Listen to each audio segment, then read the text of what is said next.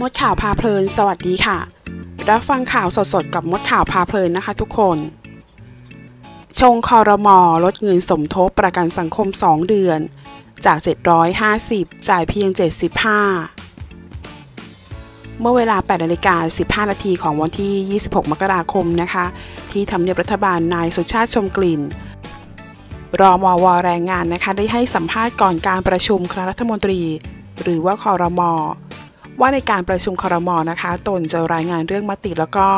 การทำ MOU ต่างๆ เช่น การขยายเวลาอนุญาตให้แรงงานต่างด้าว อยู่ในราชอาณาจักรออกไปอีก 6 เดือนนะคะ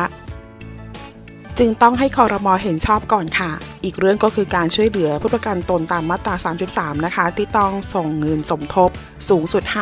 5%หรือว่า 750 บาท เปลี่ยนมาให้ส่ง 0.5%หรือว่า 75 บาท เป็นระยะเวลา 2 เดือน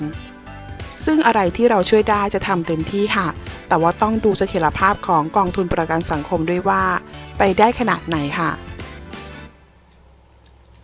ส่วนกรณีพลเอกประยุจันโอชาในรัฐมนตรีและรองมอวกลาโหมนะคะ ได้มอบหมายให้กระทรวงแรงงานและก็กระทรวงสาธารณสุขหารือเรื่อง ค่าใช้จ่ายการตรวจโควิด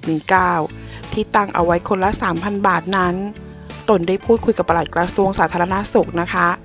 ได้ความว่าอาจจะต้องกำหนดให้ราคาไม่เกิน 2,300 บาท เพื่อช่วยเหลือนายจ้างแล้วก็ลูกจ้างค่ะ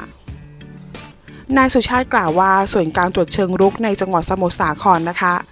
คณะกรรมการการแพทย์กองทุนประกันสังคม หรือว่าบอร์ดแพทย์นะคะ ได้อนุมัติให้โรงพยาบาลประกันสังคม ลงไปตรวจเชิงรุกค่ะ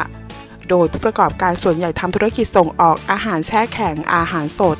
ซึ่งเป็นธุรกิจที่เราต้องรักษาเอาไว้ค่ะ เพราะมีจำนวนแรงงานต่างด้าวเยอะมากนำรายได้เข้าประเทศไทย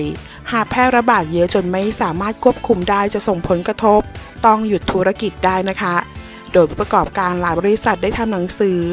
ขอบคุณนายกและรัฐบาลที่ลงไปช่วยเหลือในการตรวจเชิงรุก เป็นการทำงานบรณาการระหว่างกระทรวงแรงงานและก็กระทรวงสาธารณสุขค่ะ กระทรวงมหาดไทย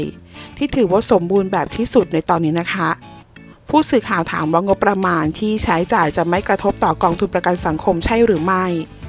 นายสุชาติกล่าวว่านักคณิตศาสตร์ประกันภัยจะคอยคำนวณว่าสามารถถอย หรือช่วยผู้ประกันตนได้เท่าไหร่นะคะ ซึ่งต้องมีเพดานกำหนดค่ะ อย่าลืมสวมใส่หน้ากากอนามัยทุกครั้งก่อนออกจากบ้านและหมั่นล้างมือบ่อยๆด้วยเจลแอลกอฮอล์นะคะ ขอขอบคุณข้อมูลจากมุมข่าวค่ะ ถ้าเพื่อนๆชอบคลิปนี้ ฝากกดไลค์ และกดกระดิ่งติดตามได้ที่ช่องมดข่าวพาเพลินด้วยนะคะ ขอบคุณค่ะ